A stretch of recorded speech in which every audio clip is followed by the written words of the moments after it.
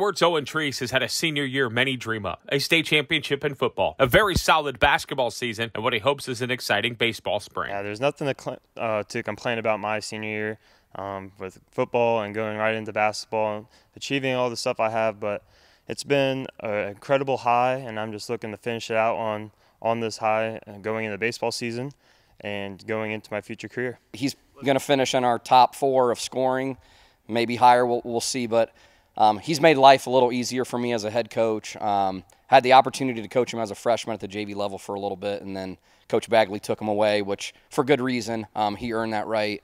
Um, he's a scorer. He's a competitive kid. Um, he's coachable. You know, he'll look you in the eyes and you know, hey, we need you to do this, and and and, and he'll go out and do it to the best of his ability. Um, you know, a true leader. He may not be the most vocal leader at times, but he leads by example. And uh, you need all types of leaders on your team. And um, you know, he's just a great guy. We're going to enjoy him as long as we can. And then, you know, when baseball season rolls around, you know, uh, we're going to go watch and watch him be successful there as well for the Cougars. Never in a million years did Treece expect the football campaign to culminate in a state title and a late start to the basketball season. Obviously, the main goal of every sport season is to go to the state championship.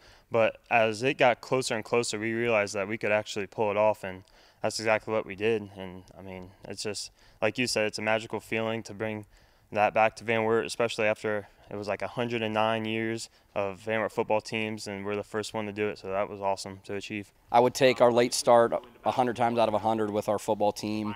Um, I have a son who played on that team as well, so to be a dad in the stands and watch, you know, his friends and our community bring home a state title was a really cool experience. And as the head coach of the basketball team, I, I just said, you know, you can you can mess up the start of our basketball season. We'll start late. Following the spring baseball season, Treece will attend Wittenberg University in Springfield to play football. Put this man on any field, and he's certain to shine. From the Cougar Den, Aaron Matthews, Sports Report.